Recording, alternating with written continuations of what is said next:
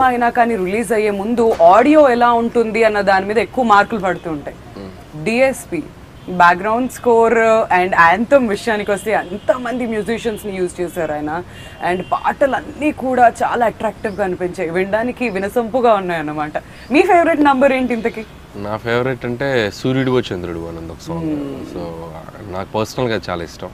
అంటే అది స్క్రిప్ట్లో ఒక ఇంపార్టెంట్ ఫేజ్లో వస్తుంది. సో ఆ తర్వాత he's so cute he's so sweet that is fab అసలు సూపర్ అది. అంటే దాని మీద వచ్చిన టిక్ టాక్స్ ఈ మధ్యకాలం నేను ఎప్పుడు చూడలేదు బాబోయ్. ఒక్కొక్కరు మామూలుగా ఫోన్ పెట్టేసుకొని హీస్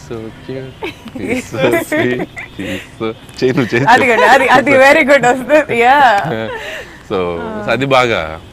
మిగతా సాంగ్స్ కూడా అన్ని మనకి డాంగ్ డాంగ్ కానీ మైండ్ బ్లాక్ కానీ. మైండ్ బ్లాక్ అయితే ఆడియన్స్ రేపు స్క్రీన్ మీద చూసి నిజంగానే వాళ్ళ డ్యాన్స్ పెర్ఫార్మెన్స్. మహేష్ గారు డ్యాన్స్ చేశారు తీశారు రష్మిక. సో మహేష్ గారు డెఫినెట్గా Mahesh garu dance going to be surprise ఈ సినిమాలో. మైండ్ బ్లాక్ అయితే ఇంకా అసలు నెక్స్ట్ లెవెల్ నేను రష్మిక అంత ఊహించలా. రష్మిక చేసిన సినిమాల్లో మేబీ తను ఏదో వాక్ చేస్తూ వెళ్తుంటే వెనక నడుస్తూ ఉంటాం. ఇలాంటి సాంగ్స్ చూశాను నేను. చలో కానీ గీత గోవిందం కానీ అంత డ్యాన్స్ నంబర్స్ లేవు. జస్ట్ అది ఆ స్టోరీతో పాటు వెళ్ళి మౌంటేజ్ చేసి అలా ఉండేది. మై గాడ్ ఈ అమ్మాయిలో ఎంత మంచి డాన్సర్ ఉందా? స్క్రీన్ ఇద్దరు మహేష్ గారు ఇద్దరు మామూలుగా లేదు.